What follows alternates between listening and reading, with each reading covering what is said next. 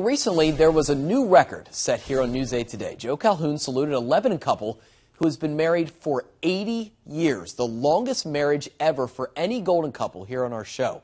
It's an amazing accomplishment. So we want to meet this husband and wife who've been married longer than most people live. It was a long time ago, but Josephine and Calvin Blouch still vividly remember when they first met. My parents had just moved down there to Cumberland Street. He lived on Cumberland Street, a block away. when I first seen her, she was sitting on the front porch with her mother. He rode up and down on a bicycle.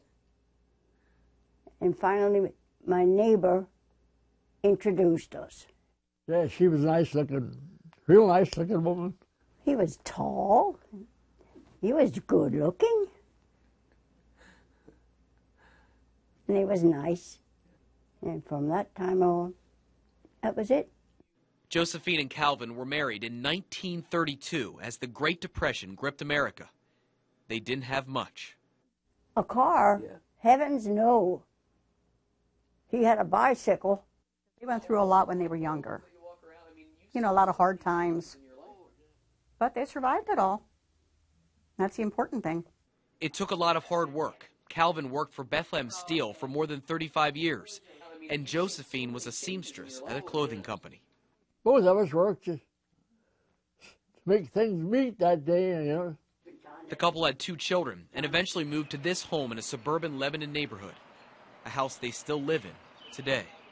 This is our home, so I guess it would be this will be the home to as long as we live, I think. After all these years, family is still the most important thing. The Blouches now have seven grandchildren, nine great grandchildren, and two great great grandchildren.